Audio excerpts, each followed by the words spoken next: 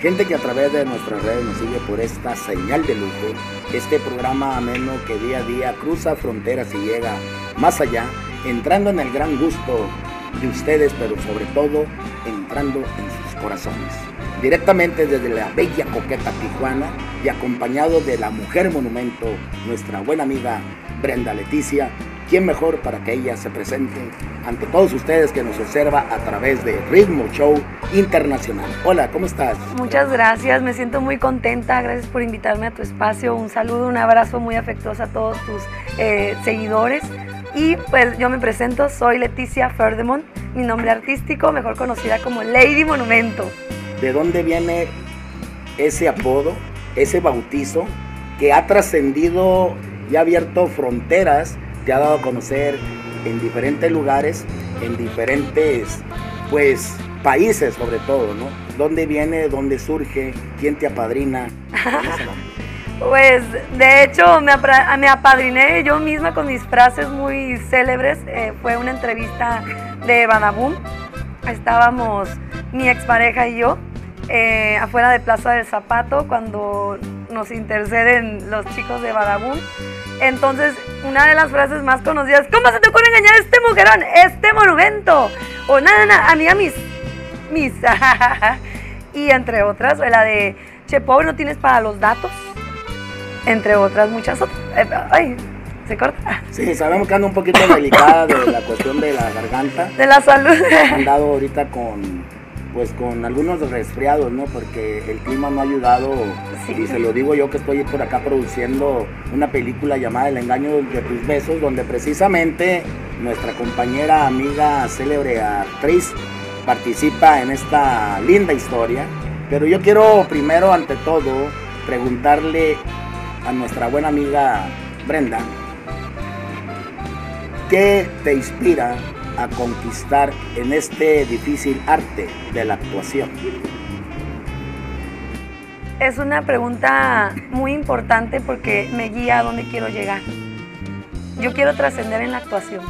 ¿Te has visualizado cómo te has visto ante un espejo, ante un sueño? ¿Cómo es esa canalización que haces tú para poder trascender y poder tratar de lograr obtener, pues obviamente, ese dicho pensar que traes en tu mente. Todo empieza desde muy pequeña. Eh, yo era muy poquito farsante para lograr mis objetivos. Eh, con mis papás este, llegué a caer en manipulación.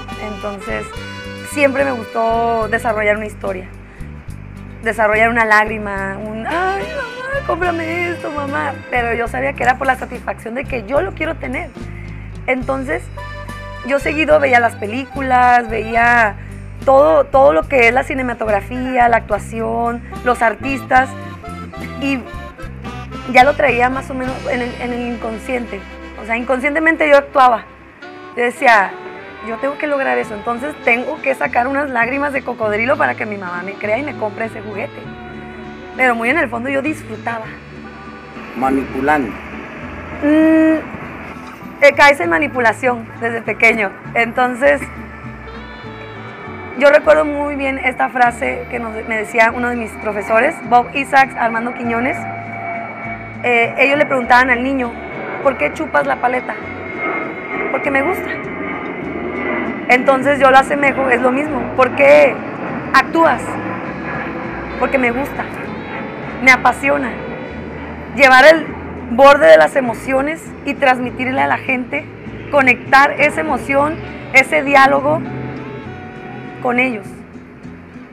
Vivir del aplauso, vivir de la conexión que tienes con tu público, de llevarlos a otra historia.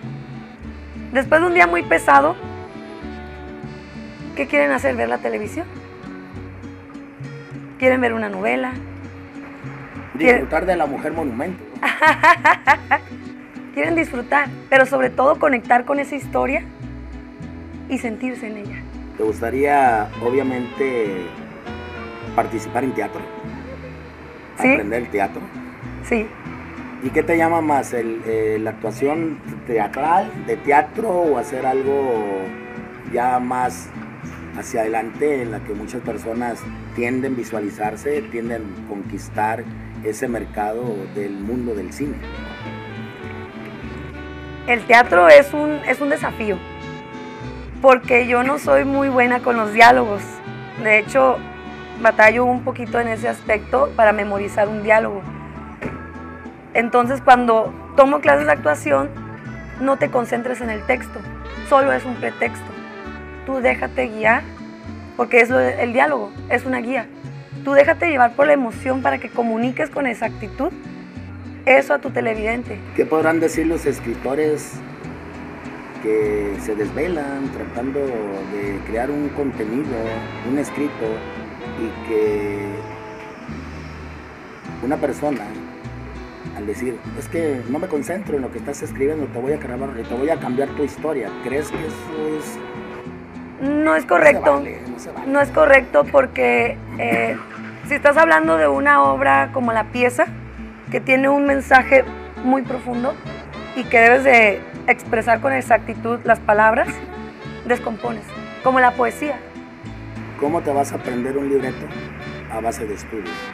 Puedes, eh, en alguna palabra que no la puedas acondicionar bien, hacer un tipo de cambio, que, pero que embone, ¿no? Claro. No cambiar el escrito, porque al menos yo que me dedico humildemente a hacer cine, hay veces que me desvelo escribiendo y a veces las personas que grabo me quieren cambiar el escrito. No, no, por favor, respétenme porque básense sobre lo que es el escrito, porque es la inspiración de la cual estoy haciendo este concepto. Entonces, eh, eso se hace a través de estudio, a través de preparación. Y sé que tú eres una persona, una mujer muy inteligente. Lo sé porque eres una persona de fijación, de ocupación. Cuando uno está hablando siempre estás atenta a lo que uno está expresando. Eso yo lo pude observar desde el momento que tuvimos la primer química de trabajo. Yo dije, y aquí es, porque no se batalla, realmente no se batalla. Hemos hecho un buen trabajo, hemos trabajado en equipo. Me ha gustado tu manera de cómo has trabajado con nosotros gracias a la vida, gracias a la gran relación de nuestro buen amigo Chinchurri, quien él fue realmente el que embonó este enlace, el que hizo esta mancuerna de equipo de trabajo, quien nos presentó y él me dijo, tengo una estupenda amiga que le gusta la actuación, es viral, es, ella ya anda en las redes, es, la, mucha gente la sigue.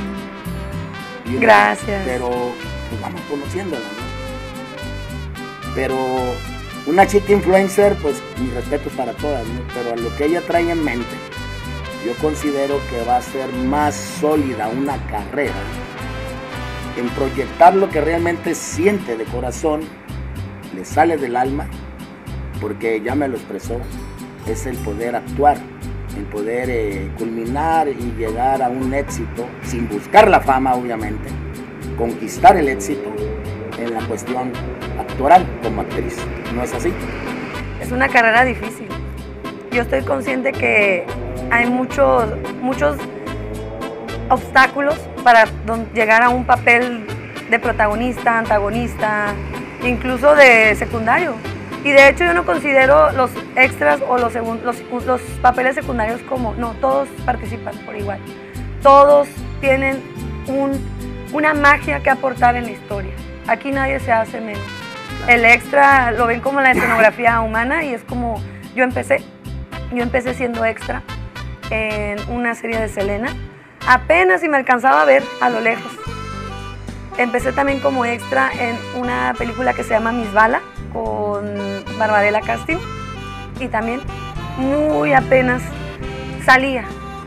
Entonces, uno como extra no puedes, uy, me quiero ver, no, tienes que respetar esa línea.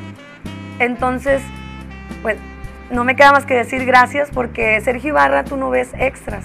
Aquí todos actúan, aquí todos aportan, todos agarran ese pincel y dan magia en la historia. Aquí nadie se hace menos. Lo que pasa es que, digo, a mi forma de, ver esta, pues esta magia de la vida, este concepto, ¿no? ¿Cómo voy a descubrir que aquella persona que quiera aportar algo actoral si lo pongo de extra y no lo pongo ante la cámara que actúe, que hable, que exprese y que nomás pase como... Pues digo, cada quien mi respeto para personas que hacen trabajo cinematográfico, pero yo les digo en cuanto vienen, porque me han dicho, aunque sea de extra, me dicen, ¿sabes qué? Conmigo no es esa palabra, conmigo todos participan y no te voy a dar un diálogo pequeñito. Primero te voy a hacer un casting, te voy a hacer una muestra, una prueba. Y si vemos que llenas esos eh, conceptos los cuales yo estoy pidiendo, entonces le digo, embonas bien, registras bien, vamos a hacerlo.